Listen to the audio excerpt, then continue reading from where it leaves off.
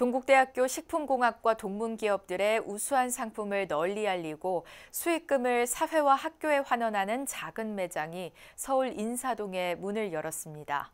동문기업 활성화가 학교 발전으로 이어지는 선순환의 모델로 주목받고 있습니다. 현장을 권송희 기자가 다녀왔습니다. 청자와 백자부터 실용성을 갖는 그릇 용품까지 청아하고 순박한 멋을 뽐내는 전통 도자기들 사이로 홍삼 제품과 화장품이 눈에 띕니다. 동국대학교 식품생명공학과 동문들이 출자에 설립한 기업의 상품들입니다. 이 기업은 판매장을 서울 인사동에 있는 도자기 매장 안에 열었습니다.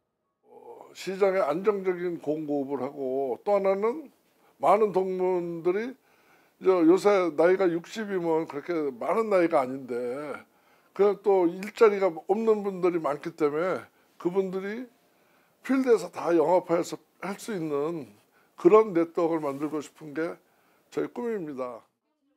이른바 샵인샵으로 기존에 운영하는 매장에 또 다른 브랜드를 추가하며 상생 협력에 나선 겁니다. 동문들의 우수한 제품을 소개하고 일자리도 창출할 수 있는 돌파구를 찾기 위한 이황 대표의 고심이 샵 개원까지 이어졌습니다.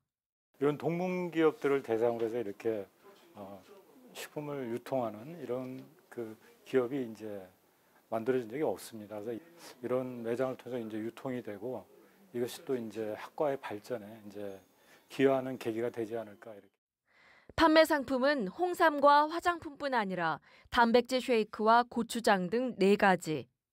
스님과 불자들을 위해 필수 영양소인 단백질을 순수 식물성 원료로만 만든 제품도 진열돼 있습니다. 좋은 재료로 만든 상품을 합리적인 가격에 판매하면서 사람들의 발길이 이어집니다.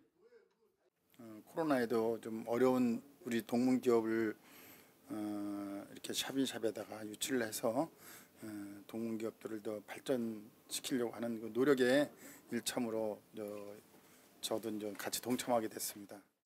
한국 대학생 불교 연합회 회원증을 소지하면 할인 혜택도 받을 수 있습니다. 대불련 자문위원이기도 한 이황 대표는 동국대에 2년째 5천만 원을 후원하는 등 인재 양성에도 힘써 왔는데 이번 판매 수익 일부도 장학금으로 전달할 예정입니다. 저희 식품생명공학과는 영양학이랑 가공학 위주로 식품에 대한 전반적인 연구에 대해서 배우는 학과이고요. 되게 활발하게 활동하시는 거 보고 되게 존경스러운 부분.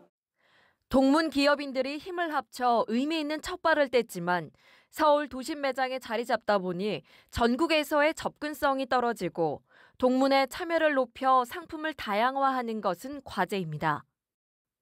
이 대표는 연내 조계종 중심으로 매장을 계속해서 성장 확대해 나간다는 계획입니다.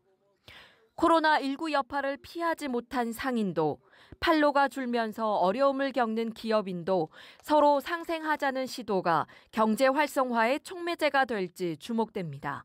BBS 뉴스 권송입니다.